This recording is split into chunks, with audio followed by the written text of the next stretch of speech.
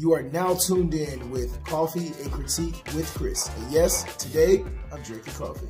In honor of Women's History Month, I am spotlighting women in TV and film. Today we honor Kira Kelly. She is a world-renowned DP. DP is short for Director of Photography. Kira attended Northwestern University, then moved to New York where she worked on non-union commercials and music videos as an electrician. Rising through the ranks, Kira officially became a cinematographer in 2009 after shooting the Hulu series East Los High. Most recently, she shifted into TV mode to shoot an episode of the popular series Insecure. So we celebrate you, Kira, for changing the narrative in TV and film. Here at Moore Scripts, we salute you for being a phenomenal woman. We salute your work.